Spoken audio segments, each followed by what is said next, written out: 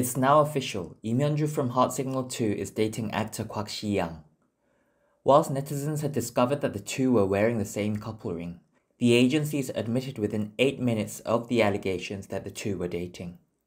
This is a quick response considering the recent rumours and ambiguous responses from the agencies thus far.